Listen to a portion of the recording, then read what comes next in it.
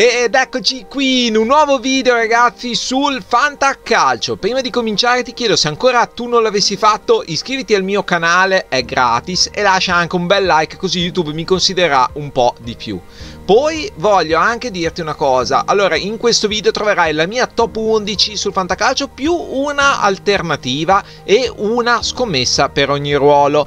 Però se tu vuoi un consiglio personalizzato sulla tua squadra lascia un commento qui sotto o nel video che è uscito ieri oppure vieni in live domani, quindi venerdì alle ore 17 perché sarò in live per rispondere a tutte le domande sui consigli del fantacalcio e avremo un ottimo ospite. Sto parlando di Fantavirus. Fantavirus è un'altra altro canale che parla di fantacalcio, ti consiglio di seguirlo e per questo ti lascio il link al suo canale qui sotto in descrizione. Veramente è un canale che merita, un amico del mio canale, per cui se ami Fantagol e il fantacalcio passa anche da Fantavirus. E ora andiamo con la mia top 11 per la trentesima giornata di Serie A.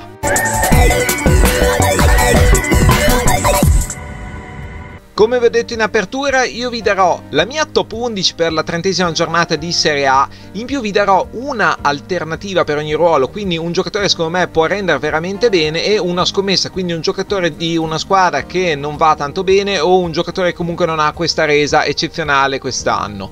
Ora partiamo con il ruolo del portiere, quindi come primo portiere io vi direi Scesni. Scesni impiegato contro il Genoa, non ha giocato mercoledì col Napoli, Scesni sarà titolare contro il Genoa e secondo me potrebbe uscire con un buon clean sheet. Alternativa per il ruolo dei portieri vi direi Andanovic dell'Inter contro il Cagliari. Non si sa bene se controverrà Simeone o Pavoletti oltre a Joao Pedro che è l'iniziato numero uno per segnare, però Andanovic potrebbe uscirsene davvero bene, potrebbe uscire con un clean sheet o con una rete subita, non credo di più. E adesso veniamo al portiere scommessa. Il portiere scommessa è Milinkovic Savic del Torino, credo che pochissimi di voi ce l'abbiano, però è contro l'Udinese. L'Udinese ha un attacco veramente poco pungente e Milinkovic Savic potrebbe uscirsene veramente con 0 gol subiti o 1 al massimo. E adesso cominciamo la top 11 per quanto riguarda i difensori. Qui vi indico tre difensori e sto parlando di Quadrado,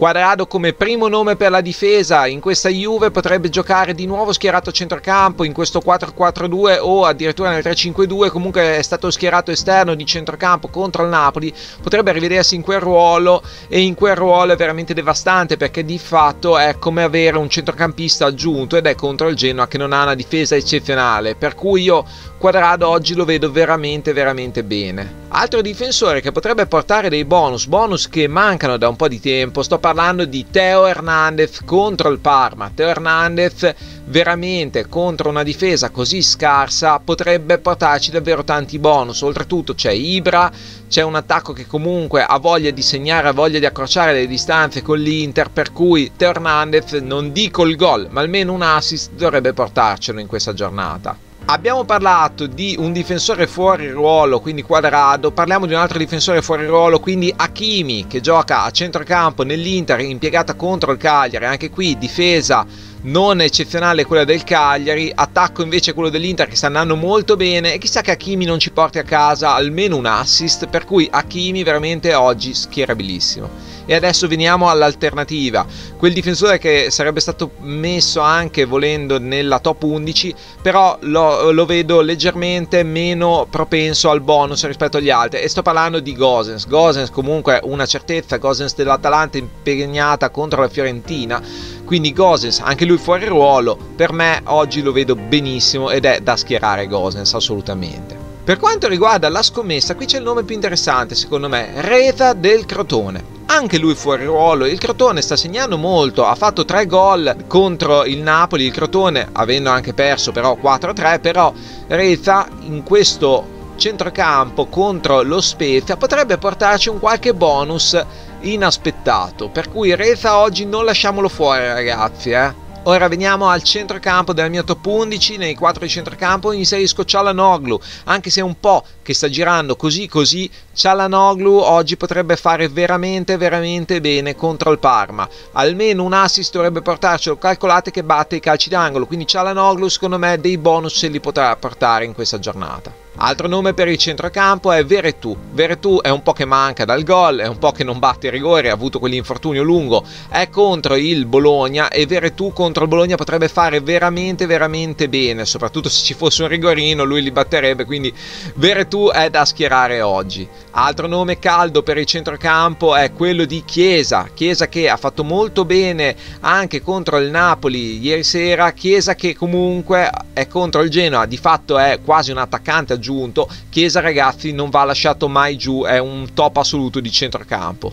Quest'anno più che mai. Altro centrocampista che di fatto gioca fuori ruolo, quasi trequartista avanzato, io sto parlando di Politano, Politano del Napoli, vedete che oggi sarà titolare contro la Sampdoria, visto che nella partita di mercoledì ha giocato titolare Lozano, dovrebbe esserci la staffetta imposta da Gattuso, per cui Politano dovrebbe partire titolare, Politano che di fatto è un attaccante aggiunto e può portarci dei bei bonus per questa giornata del Fantacalcio. E adesso veniamo all'alternativa. Devo essere sincero, ero molto indeciso tra lui e Cialanoglu e sto parlando di De Paul.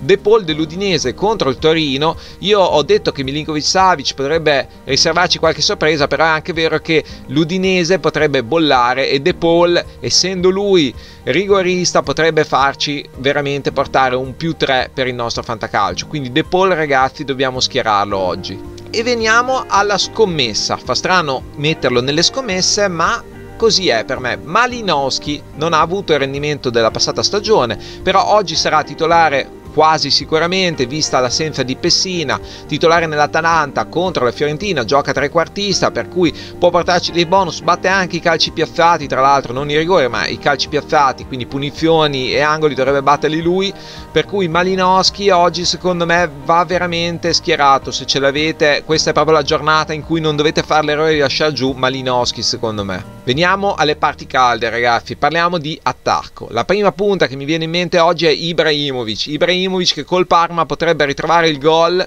Ibrahimovic che sogna ancora la rincorsa per lo scudetto nonostante gli 11 punti di distacco eh, dell'Inter sul Milan, quindi Ibrahimovic ragazzi oggi non facciamo l'errore di lasciarlo in panca, eh. Ibra va messo. Altro nome caldo per l'attacco è Insigne, Insigne contro la Sampdoria, Insigne che ha appena raggiunto Maradona nella classifica dei marcatori del Napoli, chissà che non voglia superare il PIB de per cui io Insigne sinceramente oggi lo metterei titolare, oltretutto batte i rigori, Insigne batte le punizioni, va messo Insigne ragazzi, va messo.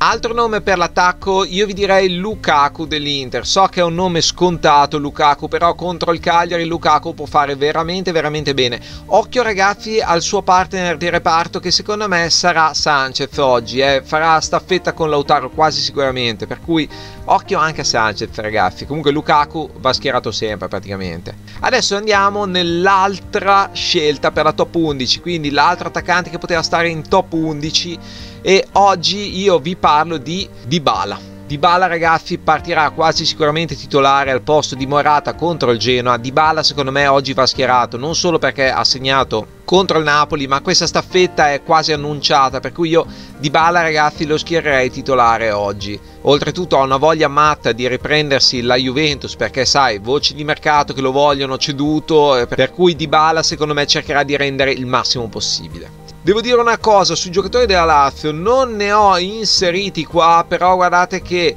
è contro il Verona che ha una buona difesa, ma anche Ciro Immobile o Caicedo che dovrebbe partire titolare possono far veramente, veramente bene. Veniamo alla scommessa di giornata, è Nzola. Nzola che è un po' che gira vuoto, Nzola contro la difesa peggiore del campionato potrebbe regalarci veramente dei gol, forse anche più di uno, quindi Nzola oggi è veramente schierabilissimo. Occhio anche a Simi che ha contro, perché anche Simi potrebbe fare bene. Comunque vedo favorito Nzola. Ora, questa era la mia top 11 più un altro consigliato per reparto e una scommessa. Ti invito a lasciarmi un commento qui sotto se vuoi un consiglio sulla tua formazione, cosa ne pensi dei miei top 11, dimmi se cambieresti qualcosa o se hai qualcuno di questi giocatori. Se questo video ti è piaciuto ti chiedo di lasciarmi un like, iscriviti al mio canale se ami il fantacalcio davvero è gratis, è solo un tap sul cellulare e se ti va passa in live venerdì alle 17.